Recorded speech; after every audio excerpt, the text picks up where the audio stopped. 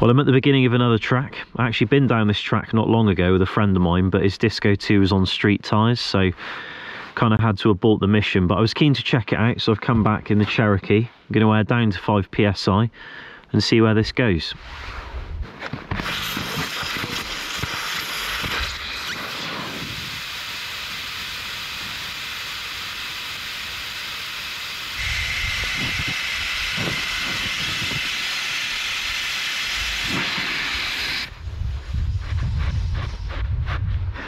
Two sway bar off on this one. All right.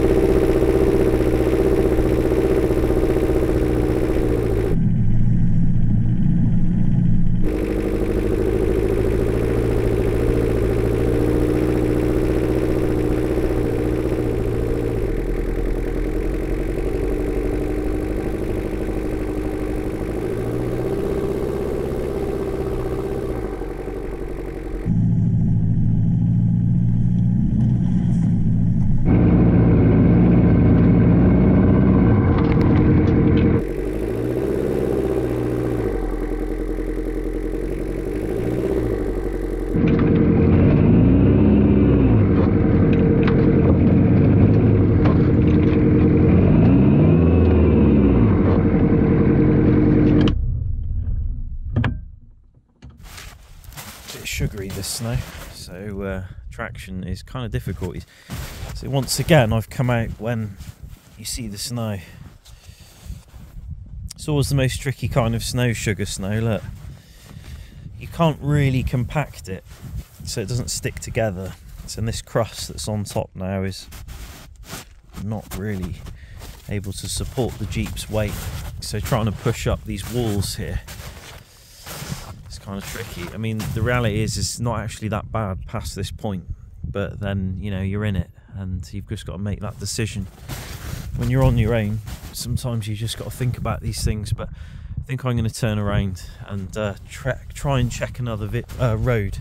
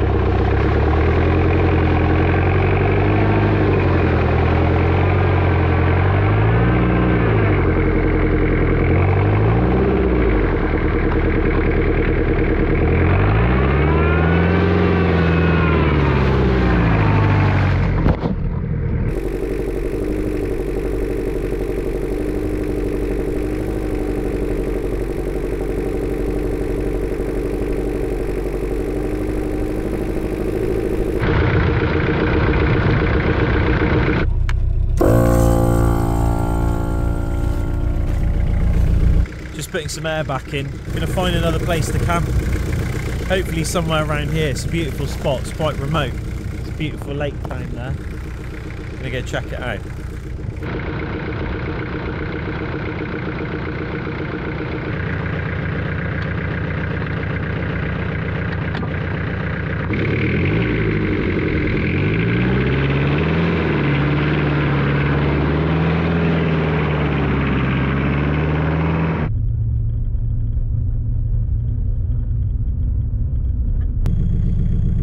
Pretty doable.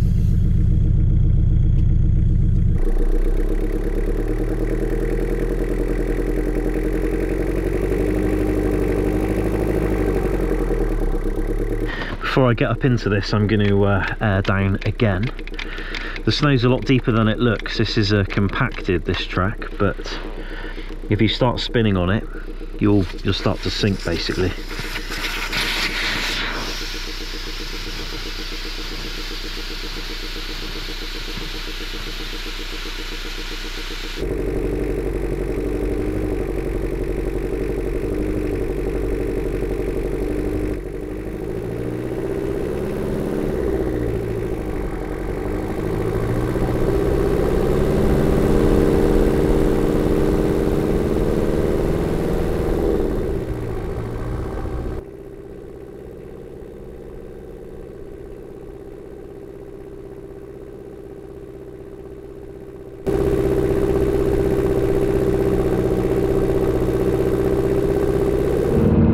track's pretty compacted so it really isn't too much of a problem. Uh, just climbing obviously you can lose a little bit of traction. And the snow has turned back into sugar snow again which is kind of a pain because the other day it was really hard and you could kind of just float on it but now it's um, the crust is a lot more fragile. But uh, I think we're almost where I can see on the map I would like to camp. I've been here before with a friend of mine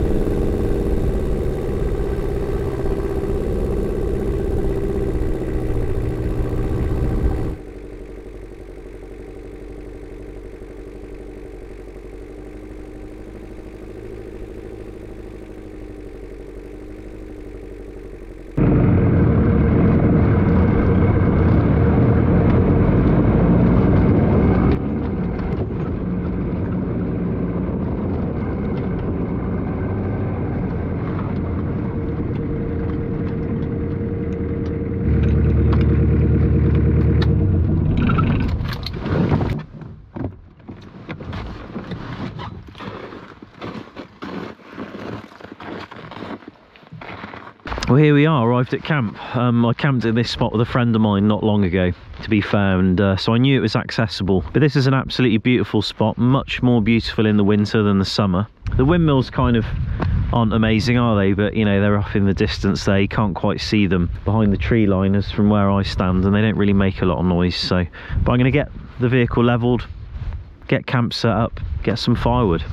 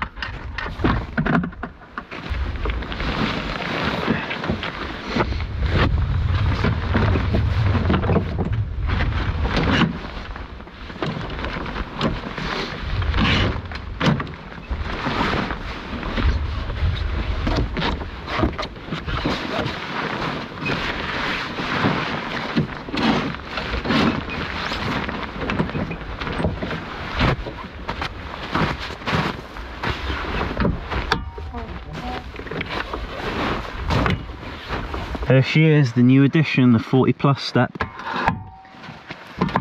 Check it out.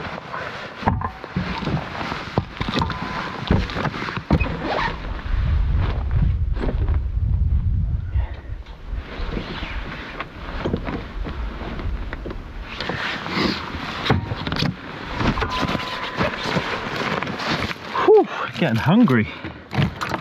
Real hungry. Few things to chuck in the back as usual clothes and a hygiene bag in there and the sleeping bag. Basically it. Whoa. oh yeah and carbon monoxide detector. Chuck that in as well. Should be it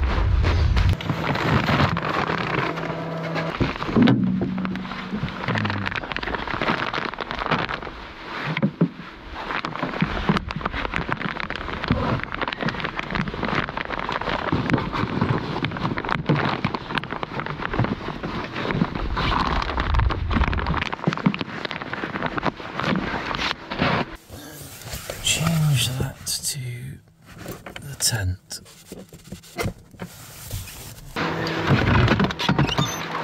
For those of you who are interested in these front runner chairs, they are nice. They're way overpriced. They're very robust, but they're heavy. So if weight is a factor, or you're trying to keep weight down, they are heavy. For a chair. Considering what other things are on the market. They're also shite in the winter because they're not warm, so something like this helps. But yeah, that's me set up, all done. Pretty easy these days, you know, with the setup, especially now with the new diesel heater thing at the front. You know, everything's all plumbed in, permanent, so I just need to put a hose in, aka the elephant dick, and then the whole tent's warmed up. But um, pretty sure this is a Bigfoot free zone.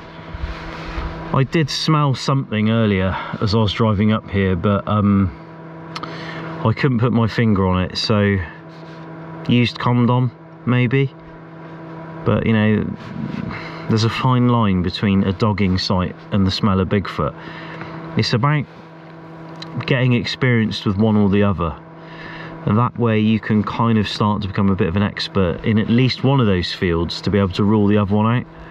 But um admittedly one is easier than the other to get into really. So um Anyway, I'm flipping hungry. I think I might have a piece of chocolate and then get the sled, the snowshoes on, get some wood, and I'll be ready. I'll be ready. Be chilling. I've got easy food tonight.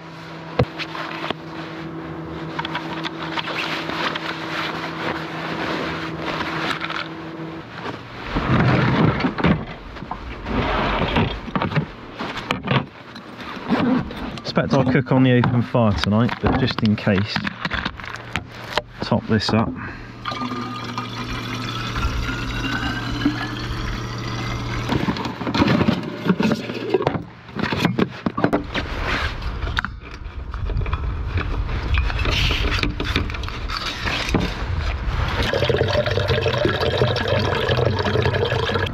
Think my efforts deserve a double bagger.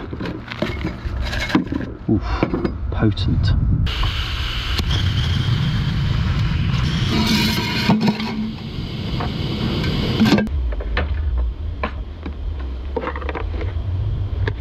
It's the reactor, living up to its name. About two minutes.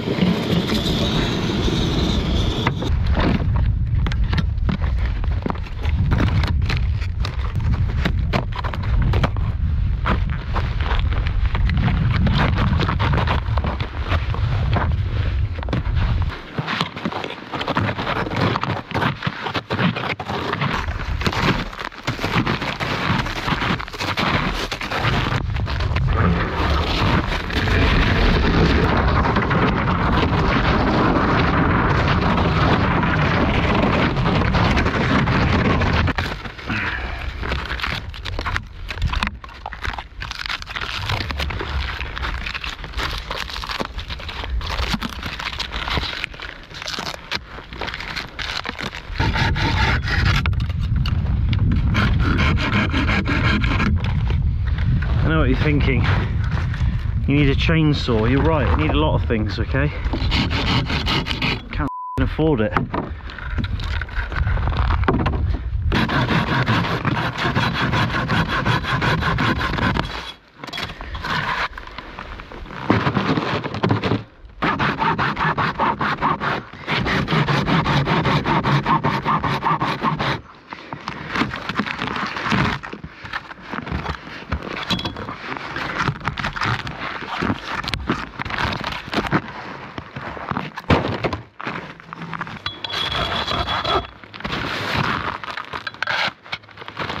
Going to do.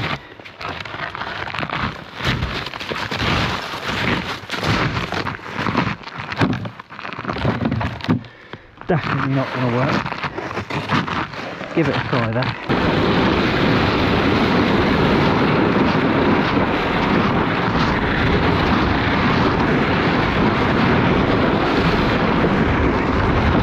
Oh.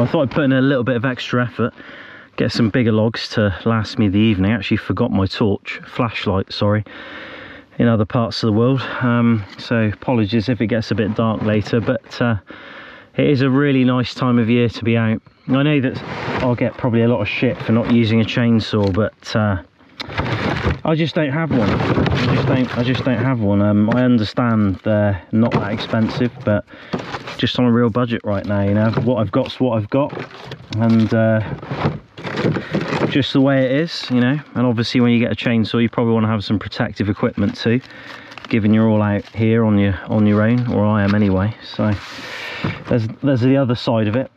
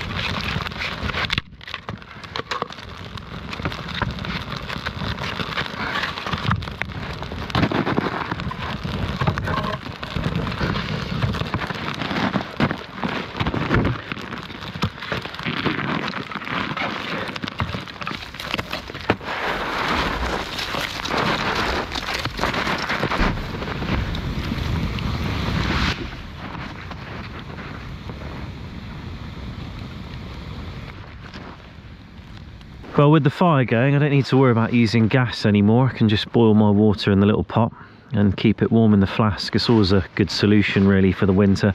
I tend not to bother with the RotoPax on the side of the gull wings like you normally would see me roll around with. I find that the two litre flask and just kind of doing rotation with snow is plenty, even for washing up and stuff. And once you get a fire going, as long as you carry a pot, you can pretty much just make boiling water, warm water really easily. But uh, I haven't actually seen him around anywhere yet. Talking about Bigfoot, um, I thought I smelt his ass a little while back, but uh, yeah, not sure really. But on the subject of wildlife, I've only really seen three elk this winter. Um, I know they call them moose a lot here when they translate it to English, but Eli is heter Eli på svenska, so that translates to elk. It's, it's, called European elk, I think that's the classification. I've only really seen a couple of bears since I've been in Sweden for six years, and uh, yeah, no, I mean, I guess they're waking up around now anyway and, and moving up into the fjords for the reindeer or go, going after reindeer calf, and then I guess they come back down for elk calf later. Um, but I, I, know that the elk numbers aren't as high as they used to be, so I wonder. I wonder about the impacts it will have on, on, on the bears. I assume if the bears go after more reindeer, they'll be shot to greater numbers to control the cull on the reindeer, and thus for man dominates, nature suffers and Dildo Baggins revels in the fact that he's got free range of the woodlands without a predator in sight. I guess it's just a, a vicious circle, really.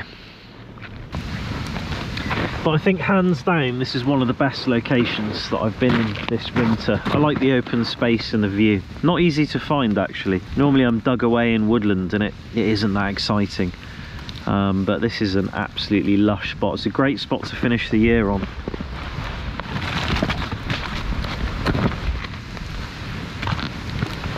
Well it's been a pretty lovely camp so far although my eyes looks like I've been smoking crack.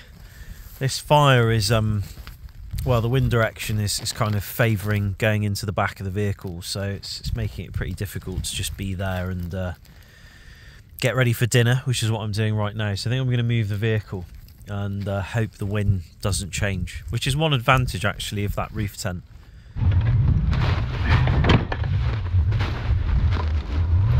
It's just going to change direction again, isn't it?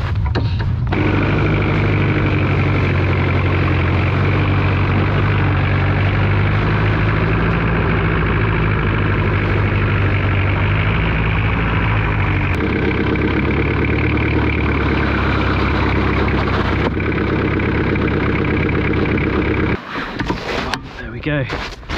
My eyes have forgiven me. Whew.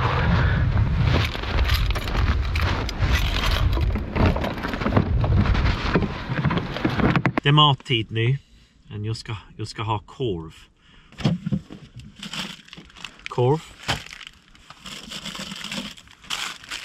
Basically hot dogs, that's what I'm having. I'm having hot dogs tonight. I'm going to keep it simple, I fancied it. And these suckers are grade F. Grade F for fantastic. The fire is a bit too hot to cook on, but maybe I can drag some embers out. Use this bad boy.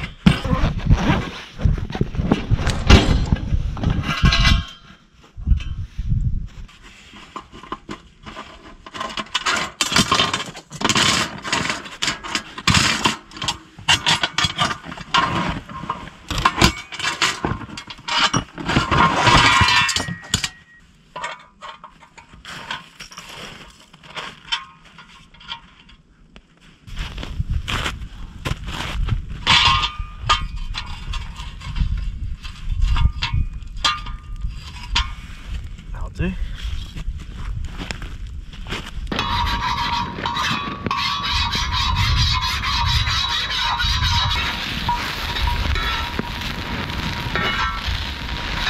These things always taste better on the fire. And no, I didn't forget the mustard. I don't like mustard. Not in hot dogs anyway. I've got hamburger dressing and I've got dried onions and that's the way I roll.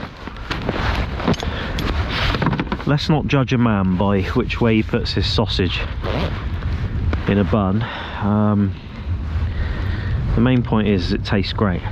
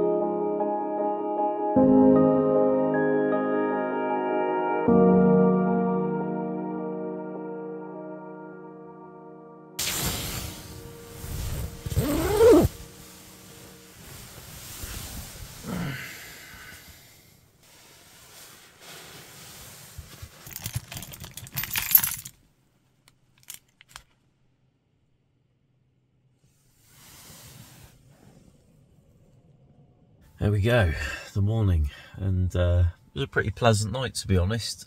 The windmills were uh, windmills, the the wind turbines, I don't even know what they're called, were um, making a bit of noise, but it was kind of like a nice noise, like woof, woof, woof.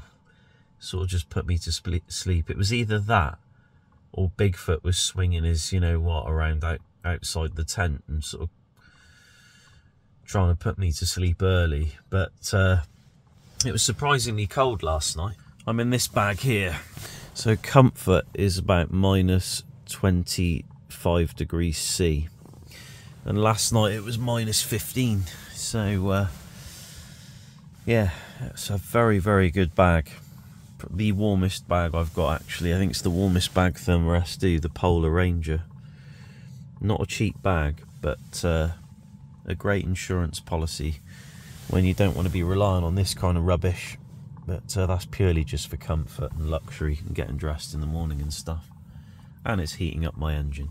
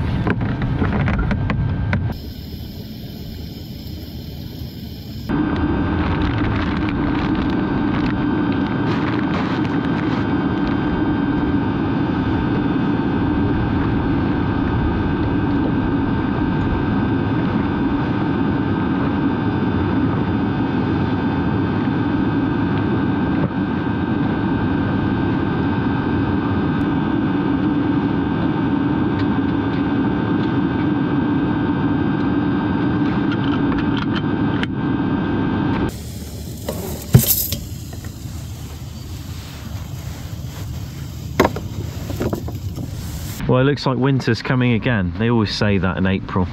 But uh, yeah, this morning, cup of tea, obviously very important, and a double bagger. And had a little bit of birch bark left over, and I've got the fire roared up again, just in case I want some breakfast. I obviously could cook on white gas, but you know, might as well burn that away and uh, clean the place up a bit before I go. But the tent is now packed away and all the condensation removed. It's one of the main things that was pretty uh, strict about uh, with myself anyway I mean. I'm going to switch it off now. I'm going to have a look at the engine first. Yeah yeah it's really nice and warm. Really warm. So uh, that should start basically straight away without without any issues. You know it should sound quite happy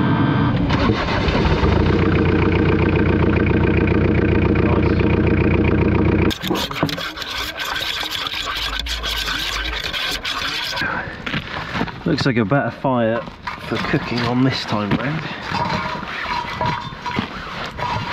Oh, I think I might have accidentally urinated on the Muurikka when I fired out a dehydration laser last night. I expect the French would probably consider that part of the cooking process, so I'll let that one slide. I've basically got enough for one pancake, that's all I've got, and uh, I'm going to have it with that. I'm getting a few comments about this in some of the videos that people are in uproar.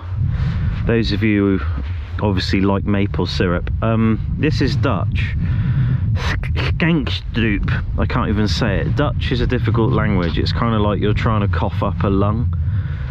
It's a difficult thing to sort of to do if you haven't grown up in the Netherlands. But um, this isn't supposed to be maple syrup. This is not a substitute for maple syrup. It's just a completely different type of sauce. And it's a Dutch sauce and it's made from um, zout. It's made from zout. I don't know what that is. I think basically it's, um, you know, like going to be just everything that you probably don't want in your body made into a sauce. But I will agree with you, maple syrup is better yeah but like for me to buy a tiny amount of maple syrup here in Sweden I think I have to pay close to ten dollars for like something like that. So it's just and this was a gift all right? So these are my excuses so just leave me alone. I've only got one shot at this and I'm definitely think it's too hot but I'm tired of waiting.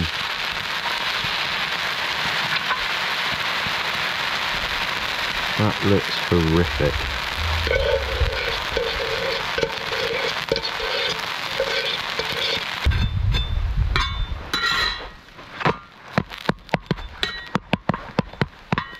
think that's going to have to do. It's a bit hot, but whatever. This will be disappointing, but uh, I'm going to try and enjoy it. I'm sure it'll be edible anyway. It looks horrific.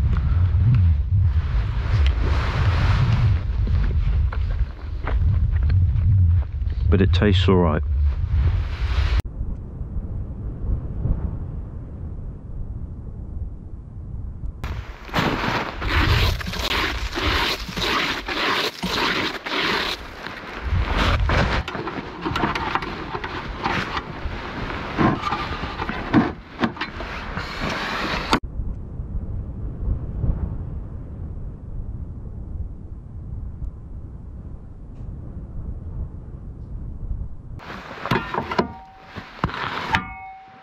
Well, full disclaimer, this is the part of the video where I talk a lot. One thing I'd recommend if you do come out into the wilderness or wherever you are is a pair of binoculars. These are 8 by 42 so you can see stuff up close as well like insects and butterflies if you can't if you're into that thing and you can't get close enough. Um, they're really really good. You know I've seen lots of stuff through that, lots of birds, wildlife, bear, elk, you know loads of things. So um, it's definitely worth having. It does kind of enhance the experience and allow you to kind of see so much that's out there and I wouldn't have spotted those things if it wasn't for those. But this has been a really chilled camp. I was going to do another night but um, obviously not going to film it because it's much of what what you've already seen really. But I was thinking about staying up here another night. I think I'm going to head back down though and make my way back into uh, back home basically and and uh, spend some time with the family obviously uh, but it's been really good. I was going to say this is probably my last camp for this winter, but given how much winter likes to come back at the end of winter, um, I might actually probably be out again.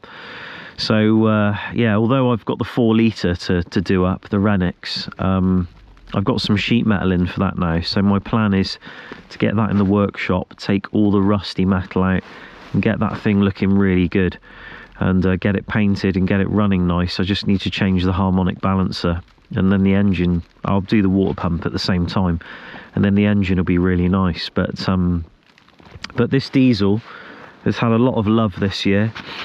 Uh, it's had lots of parts that I've made for it, like the three link and all the stuff on the axle. I've made the new drive shaft for it, bumper tyre carrier. God, I've gone crazy really and, and really decked it out. And, it, and it's just such a great vehicle now, such a such an awesome vehicle. There are some things on it that I'm still, you know, not entirely, that can be better. Um, for example, the rooftop tent, as much as I love it, the family's getting bigger once again, and um, you know, which is obviously a fantastic thing. It's what you what we want, but I don't mean it like that. I just mean that you know I've picked the wrong tent really, and and I wish these guys would just offer one that opened like this and then opened out again. If they made that tent or something similar, like the iCamper, but you know just just in that price range that, that opened up like that so it was i think this is two meters by 140 so one and a half meters by two meters ish. So if it opened up again and it was like two meters by two meters or 220 by two meters then you've got a, basically a future proofed tent for for like a, a, four you know for four people basically. But um I don't know really. I, I, I just I've never you know what I'm like. I, I really I've never really been into rooftop tents. Um it works for me and I get a lot of shit on the channel about having a roof tent on my Jeep. Um, but the reality is, is like I said in the last video, like in, in the in the summer, you need an enclosed space that does not get opened until bedtime because of the flies. And it's very convenient to set up, you know, the, the, the mosquitoes and everything and the biting midges and everything here is just this intense, man. So uh, the roof tent has been a godsend for that. And we have ground tented a lot as a family as well, with the Jeep and without. And, um, you know, with kids it can be difficult because they like to run in and out of the tent and like let all the insects in that basically like start coming at you at night. I've talked all about this before, I know. But um, anyway, I'm going to make my way back um, and uh, I hope you've enjoyed this video. It's been an absolutely lush camp and if you saw the time lapse, which I peeked my head out the tent at about 3.30am, you would have seen the northern lights just over there. It was actually a really nice display on last night. I only really caught the edge of it with, with the time lapse. Um, but uh, I, I, when I was taking a leak out, out the window, I spotted it. It was, was a pretty good display considering it said there was only a 4% chance of seeing it. So hopefully you saw that, but it was a, an absolutely beautiful evening. But anyway, I'll see you again in another video. Just want to say thanks to everyone out there for watching. Thanks to patrons for supporting the channel. Hope you enjoyed the video and uh, I'll see you again pretty soon. Hopefully.